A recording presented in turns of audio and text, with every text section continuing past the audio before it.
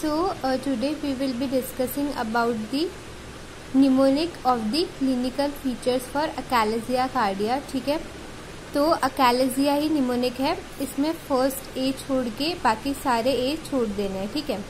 So the clinical features taken from S R B A से है achalasia will diffuse oesophageal spasm ठीक है? Which give corkscrew appearance and it is known as vigorous achalasia ठीक है? C से chest pain H से heartburn ठीक है? एल से लंग एप्सिस एस से है stale food in oesophagus which lead to candidosis and halitosis okay then infection I से infection which is recurrent and lead to laryngospasm and nocturnal cough ठीक है?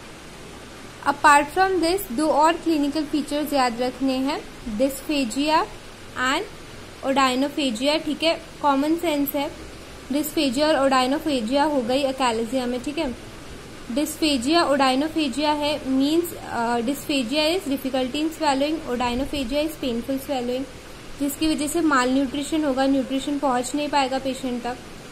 ठीक है, उसके अलावा वेट लॉस भी होगा और इसकी वजह से पेशेंट विल लुक इल ठीक है। So this was the mnemonic. Thank you.